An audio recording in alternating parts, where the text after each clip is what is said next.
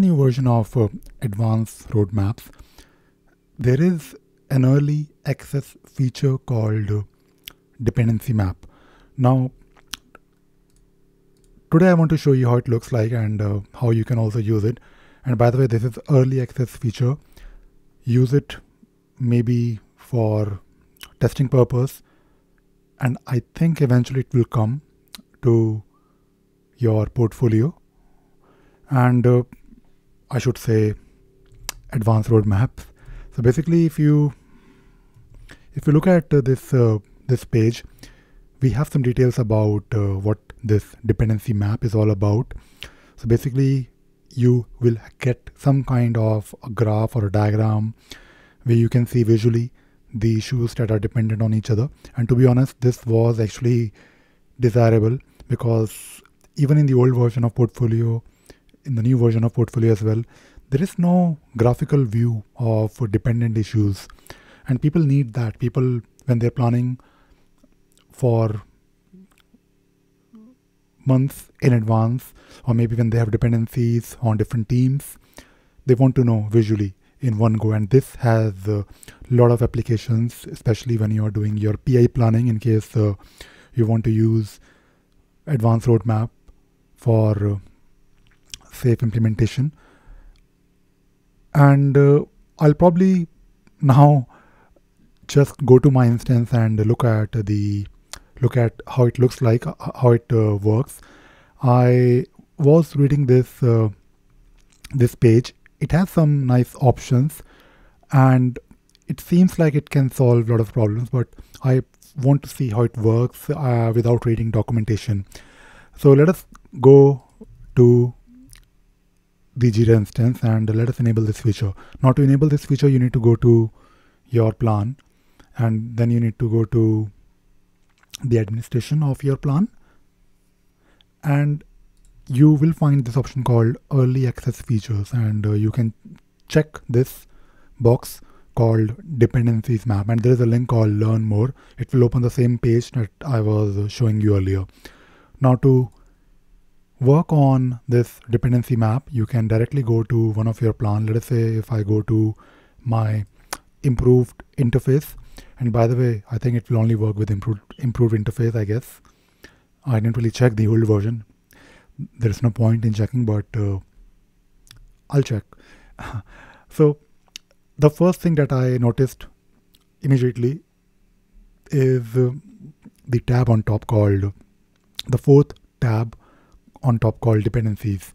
Now, usually, if you have to work on dependencies, you can uh, always go to your views and then you can take a look at this view called dependency view where you have this plan basically filtered with only issues where you have some kind of dependencies now you also have the option here on top now with the new version and the new feature which is uh, still early access feature if you click on it now you have this wonderful map and it looks to be honest, uh, immediately I can see immediately I can see the benefits.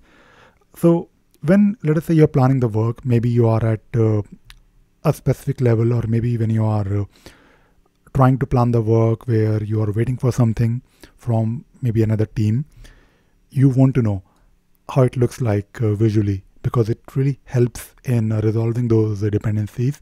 Now immediately I can see here that uh, my launch Android app, which is an Epic. It is uh, right now basically based on, not based on, but it is basically waiting for the backend work and also the user management work. And you do have some dependencies in uh, in red color. When you have these dependencies in red color, it means they are not really uh, healthy.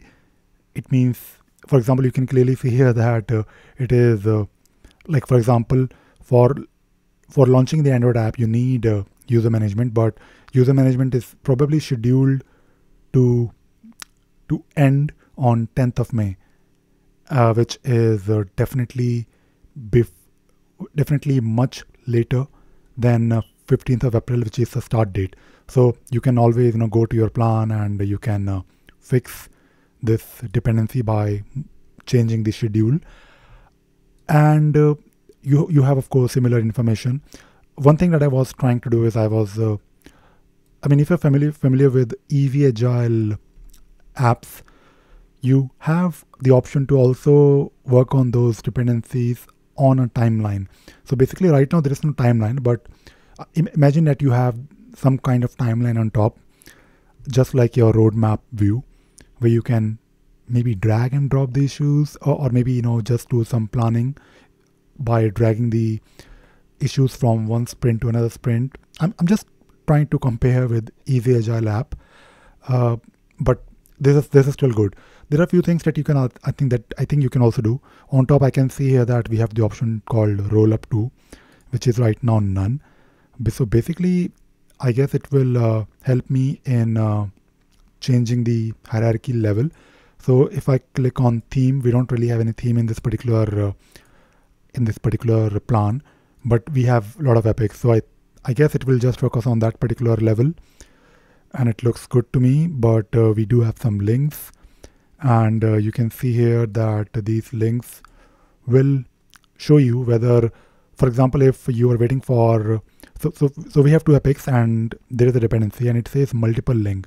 So when you click on it, it will tell you that OA, OAN1 is basically um, waiting for something to be finished, which could be another epic or maybe another another uh, story in that particular epic. So this looks really nice, and uh, if I maybe change it to story, now we have uh, at story level. I mean, I mean we can see all the stories as well, but I think it is also showing you the uh, epics, and uh, if I click on subtask, so I think uh, there is no difference here, or maybe, I mean, you can always have further dependencies. what if, if I select team? So if I select team, it is now showing dependencies across teams, which is good to know. So maybe you're you're waiting you're waiting for uh, something from the backend team because the backend team is probably working on uh, maybe the authentication part or maybe they are setting up uh, the environment or doing some work that you need them to finish. Only then you can work on uh, your your stories or your activities or any issue. So this is also good. So basically you can see here by changing this uh, drop down what kind of dependencies from what from which level you need some information or or basically what exactly you're waiting for it could be a team it, co- it could be at the team level or maybe at any hierarchy level. So really good. I like this.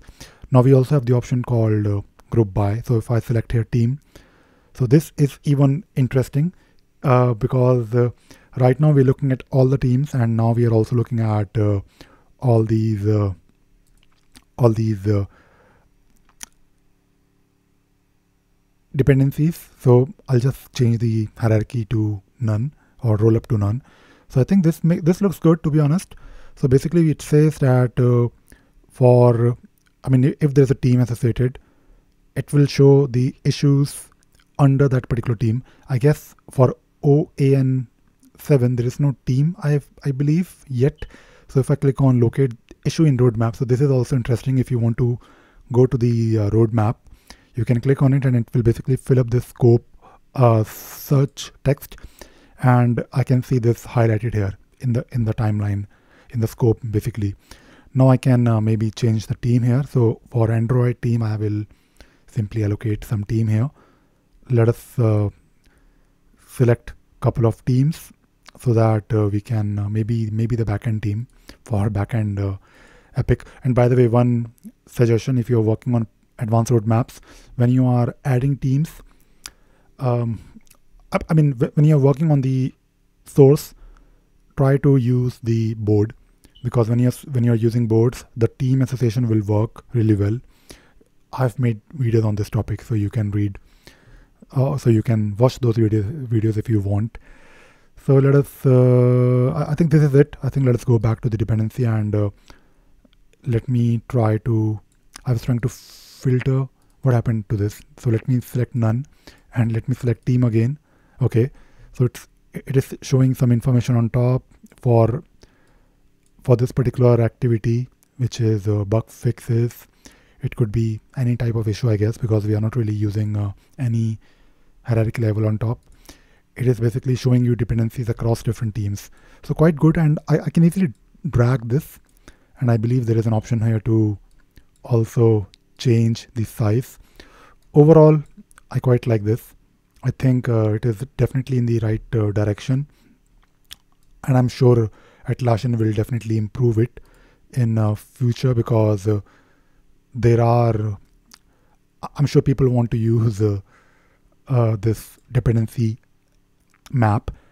And it was actually one of, I think it was actually one of the feature requests, I believe, because in the new version of Advanced Roadmap, improved interface, we don't really have any report. So it is kind of a report. Of course, uh, you can also do a few things with it. You can maybe click on uh, the item and you can then take a look at uh, dependencies and you can go to that specific issue in your in your roadmap. So it is some kind of an interactive uh, report. And that is all I wanted to share in this video. I hope you enjoyed watching this video and you learned something new today. Thank you very much.